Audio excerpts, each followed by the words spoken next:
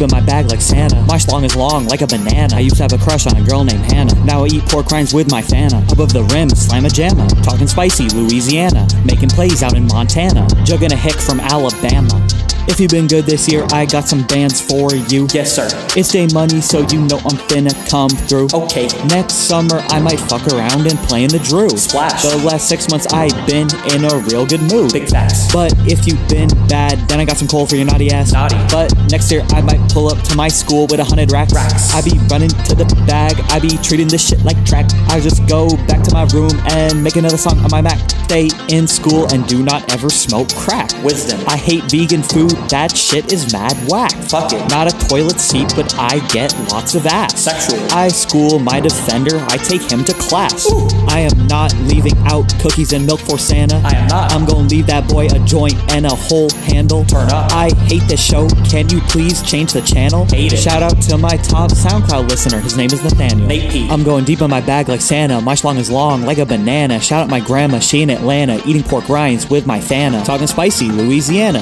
2020, I was in Montana. Above the rim, slam a jamma. Jugging a hick from Alabama.